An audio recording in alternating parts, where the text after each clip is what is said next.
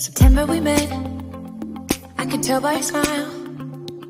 You hadn't been with a good girl like me in a while. Yeah, you were impressed. Couldn't leave me alone. Text me every time that you pick up the phone.